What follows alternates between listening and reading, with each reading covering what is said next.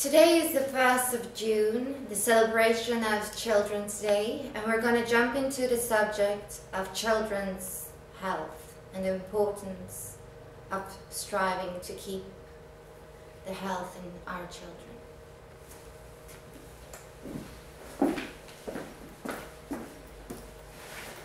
I was going, I'm going to talk to you a little bit about children's uh, health, uh, following on from my earlier presentation about radioactive pollution. And then I'm going to sort of ask you all to consider stepping back from the immediate problem and trying to see the problem behind the problem. And then the problem behind the problem and behind, the problem. Because this is always the best way to succeed if we are trying to sort of make some kind of progress. Because things are not always what they seem. You might say that people are militaristic, you might say that children are, are, are, are um, naturally um, hostile to each other, that at schools you can see them bashing each other up and so forth, you know. But then you have to step back from that and ask, well, why is this the case? Why do these things happen? Because until we figure out why these things happen, we're not really any closer to a solution to the problem. And if we don't find a solution to the problem, I can tell you, and you can see from what I said earlier about the effects of radioactivity, that really we are all doomed. Now, the, the, the, the, enormous advances made in medical science in the last hundred years have all but defeated the historic causes of illness and death in children. These are, if you like, smallpox and, and whooping cough and, and all of these uh, uh, diseases related to infection um, because these have been defeated by antibiotics and by uh, various chemical substances that kill bacteria. But what we see instead is a developing spectrum of childhood diseases and conditions like cancer and diabetes and asthma and all sorts of development problems like autism, uh, which are very widely distributed. And in fact, the number of children born with these diseases now has increased markedly so that you, if you take children at birth now and look to see uh, whether they're healthy, there, there, are actually fewer healthy children at birth now than they, than they used to be at the time of the, um, of the big epidemics. And of course people know this. There's a sort of nervousness about the increasing concentration uh, of, of substances which might be causing these effects. There are an enormous number of, of known genotoxic and potentially develop, developmentally disruptive chemicals and novel radionuclides that I've already spoken about that have been building up in the environment over this period. And, and, and briefly I want to, just before I move on to the, to the arguments about how this is all happening, to say a few words about how we can know what we think we know. Because the problem at the moment is that science is in the hands of the scientists. But, but the problem is which scientists? In, in my own area, I, am involved in court cases uh, at the moment in the High Court in London to do with nuclear test veterans and their children. And the, and, and the judge in the upper tier has ruled, actually illegally as it turns out, but anyway, ruled that I cannot be an expert because I'm biased, because I take a particular point of view, that I say radioactivity is very dangerous. And that means, and because I, I did give talks like this one, because I'm here talking to you now, and on YouTube presumably, or wherever Vimeo, um, it's not something that an expert in a court is allowed to do, according to this judge. Um, but, and, but the problem is, of course, that you get experts from both sides. You'll get an expert in our own court case, or many of the, all of the court cases that I, I, I'm involved in as an expert. There'll be an expert from Exxon, from Chevron, from, from the nuclear industry, from the military, from the Ministry of Defence. These are all different experts, and they take the opposite point of view to me. So we all look at the data, we look at the scientific research reports that there are, and we say, hey, look, this looks like the child is dying because of radiation. And then the expert from the other side says, well, no, it doesn't, because here's a study where people were given radiation and no children got ill. So this is an opposition between two scientists. So the question is, how do we get to the truth? Because that's what we want. We want the truth. And the way to get the truth, I think the only way to get to the truth, and this is what I advise the European Commission uh, uh, in the papers that were published by this Policy Information Network that I work for, is to have both sides of the argument.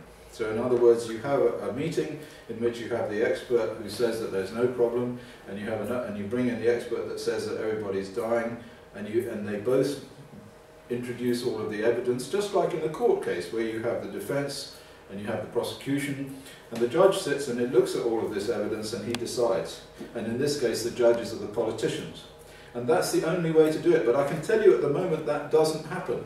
What happens at the moment is the people from Exxon or from Monsanto uh, are the ones that advise the, the European Parliament or advise the American government or the European or the Environmental Protection Association. So the situation is biased by money because these companies have vast amounts of money, governments have vast amounts of money and they want to make more money and so what they will never do is they will never invest in an expert who says that this substance is dangerous because if that happens, then they will lose money. And this is the essential problem that we have at the moment in terms of child health. And also the problem that we have in terms of adult health as well, and in, in, in all areas, and I shall come to that in, in due course. So as I said here, I spent some time, yes, so this was about Pinch, I was on Pinch and I, and I was looking at all this business of science and policy.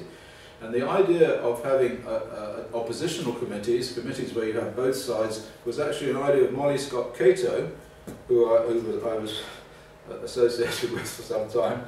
And uh, it was based on the British Parliament, or on any parliament really, uh, where, where, or indeed on, on legal cases where you have two sides of the argument presented. But that doesn't happen in science. Um, I won't go on about it. But uh, you see, the problem is, of course, that the people with the money are the people who employ the scientists, and those people also prevent studies being carried out that show that, that what they're doing is wrong. And these are tensions which result in difficulties in obtaining the best scientific advice and translating it into policy. And we told the European Commission this, I don't know whether they've taken any notice of it, but anyway, they certainly had our report where we stated this.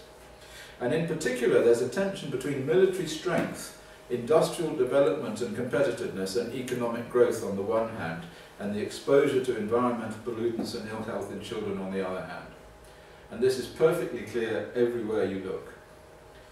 So, in other words, countries that want to develop industrially have to do industrial development which produces concentrations of toxic substances, not just radiation, but all sorts of substances uh, dioxins that get released to the atmosphere which cause cancer, whole ranges of substances like uh, uh, heavy metals that get released to waterways and end up in drinking water or in the air to be inhaled. And of course, it's necessary for them to produce these substances in order to have economic growth. And we'll come to the arguments about economic growth in my, in my next presentation. But if you're going to have economic growth, then you have to produce toxic substances, and those toxic substances kill your children. There's an absolute equation between those two things. And governments know this.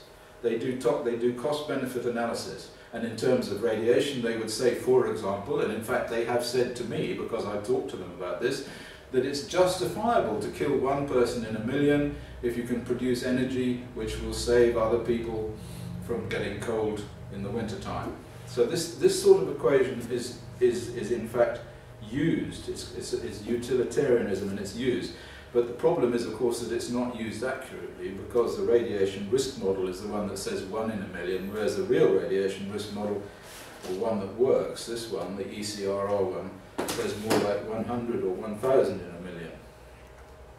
And which sums up to 50 million, you said? Well, uh, yes, of course. In terms of in terms of infant mortality and cancer, it, it, it, over the period of the weapons fallout, we're talking about 60 million cancer deaths and 50 million um, dead babies uh, if we increase, if we, if we include miscarriages.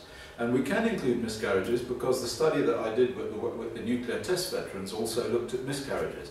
There have been very, very few studies of miscarriages, but the test veteran study showed that there was an excess risk of miscarriages in the, in the, in the wives of the veterans. So the solution is to have oppositional committees, uh, and, this, and, and the solution is to fund independent scientists, people like me, because nobody funds me, I can tell you that. So all of this is done, this is, this is something that I've done because I felt it necessary to do it. And most of my life has been devoted to working for nothing. or for little, very little money, or the, or, the, or the hope of very little money, in order to draw these facts to the attention of the public. Oh wait, the solutions are Sorry? Okay. So we, I- well, in England, what I suggested, or in the, in the European Union, I suggested that, uh, that a number of things can be done. First of all, we have these discursive or oppositional committees. And secondly, we have to therefore fund independent citizen scientists. So in other words, somebody has to be on the other side of the committee and they have to get money to do this. Because at the moment, all the money goes to the people who work for the military or the people who work for the big business. Um, and then, of course, the other thing is, is we need open access to health data. This is another thing which I haven't mentioned, but in fact, we don't really know what these uh, substances do unless we can study the health effects uh, in people who live close to the places where these substances are released. So, for example, I mean, you may not know, but in England, you're not allowed to get data on cancer close to a nuclear site, and that's true in Europe as well. So, if you want to know, if you had a nuclear site here down the road, and everybody said, oh, we're all dying of cancer. You know, little children are going around with bald heads and white faces and sort of tubes up their noses. You wouldn't be able to find if that was true or not because they wouldn't give you the data. This is European law. It's, it's law which prevents you to get getting small area data. We wanted to get small area data in Sweden to try and find out whether there was an effect of the Baltic Sea. They refused to give it to us. We went to, to Helsinki to talk to the cancer registry to ask if we could have uh, Finnish data for cancer near the Baltic Sea, they said, no, you can't. We're not going to give it to you. Um, so you can't get this data. So how are we supposed to do these, these studies that we then take into the oppositional committee and we say, look, here's the data that shows that these people are dying near that nuclear power station? Because we can't do it because they won't give you the data. It's monstrous. It's absolutely monstrous. And so finally, of course, we should um, so I say here overhaul of the peer review system using open access publishing, but this seems to be happening. This seems to be happening anyway, because open access publishing is chasing money, and lots of new journals are appearing all over the place that enables enables independent scientists to publish their work. So this is this is not lots, new. but at least they are starting to pop up. They're starting to do that. Of course, you have to pay some money, but it's not much. So once again, economics rides to the rescue of the poor. Anyway. Uh, and in fact, I've been made, a, I've been put on the editorial board of one, of one of these outfits. What is the name of it? It's called Jacobs Journal of Epidemiology and Preventive Medicine. And, and in that you'll find, you'll find an editorial in the first edition written by me, which actually states, and this is a peer-reviewed journal, all of these things that I've been telling you about the, uh, the measurement of ill health effects near nuclear sites. And the way that I did it this was way back, I figured out that if you can't get the data from the government, what you could do is you could go and knock on doors. So we got... Uh, or go to the cemetery. Yeah, or go to the cemetery. But in, in, in, in the studies that I've published in this, in this journal, one that's coming up quite soon, a publication about a nuclear site in Wales, um, we got the TV company to go and knock on doors and say, excuse me, how many people live here and has anybody had cancer in the last five years? And as a result of that, we got an enormously big response. And we found out that there was a five-fold excess of cancer in the people living downwind of this nuclear power station about three kilometres away. But of course we would have never got that data from the government. The government would refuse to give it to us.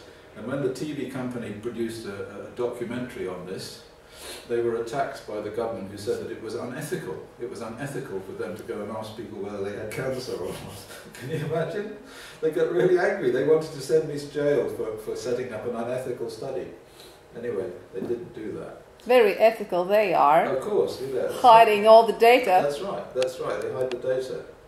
And we have to, we have to, and that's why this, that's why we have this organisation that, that, that, that I'm talking to you from now. Because if we don't take control of this, then we're finished. So we, we have all, all, so now, so if you like, now is the time for all good men and true to come to the aid of the party, this party, the Policy Information Party, the, the, the, the party that is trying to sort of get this information out there. And also, and the other thing we said was that there should be a government department which combines environment and health. At the moment you have two departments. You have environment, directorate environment, and you have directorate health. They're two separate things. So if we do all of this, our children can be strong, healthy, I'm happy.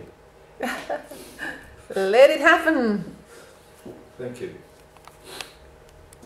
Thank you. So now, oh, so, well, yeah, but then I haven't done the other one. Do you want me to now go straight into the talking about this? I think we should cut that one and start and just start this the third one because they're too long otherwise, you know. And the third will be the, name third of. will be the one about the planetary impact index and, and, and what we should do and stuff. Okay, so you can see it in the next sequence. Yeah.